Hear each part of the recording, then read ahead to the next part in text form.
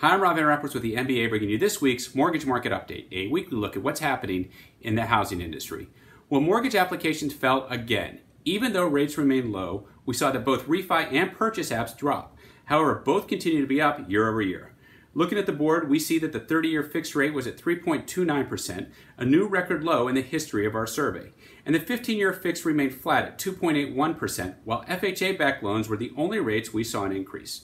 So, what's the bottom line? While mortgage apps dropped last week, that could mean that the COVID 19 related pent up demand is beginning to wane. It also could mean that low housing inventory is limiting some options for prospective homebuyers.